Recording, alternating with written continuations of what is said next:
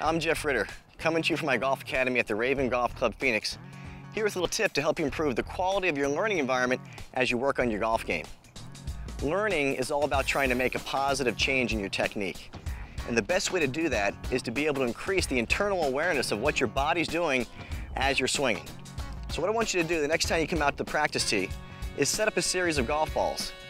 What you're gonna do is imagine yourself as being a car that has a series of gears. First gear, second gear, third gear, and fourth gear. In first gear, I'm imagining a full-size swing that travels at, let's say, 25 miles per hour. As I work through the gears, I go from 25 to 50, 50 to 75, and then 75 goes up to max speed, or we'll just call that 100. So as you walk into your golf shots, what I want you to do first is rehearse the new motion. So let's say I'm working on the top of my backswing. I might look at my hands, feel my left wrist, check out my club face, make sure I'm in the position I'm trying to get to. Now as I walk up to the golf ball, I'm not gonna swing full pace. I'm gonna make a full swing, first gear, I'm gonna bunt the ball down the fairway. What I'm trying to do is let go of my expectation of distance so I can go slow enough so I can feel if I'm actually doing what I wanna be doing. If my contact starts to improve, if I look at my swing on video using my phone, if I see some positive changes, I'll let myself bump that speed up to second gear or 50 miles an hour. Go up to the top, rehearse the feeling, increase the pace just a little bit.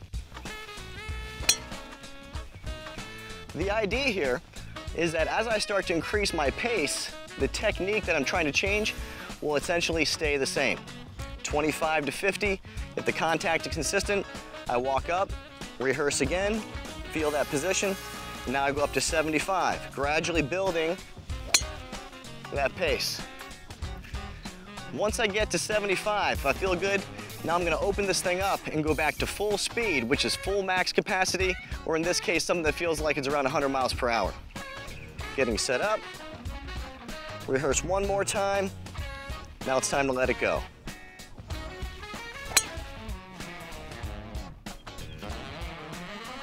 So this kind of training is actually common practice amongst touring professionals, but something that you would seldom see for amateurs on the learning tee.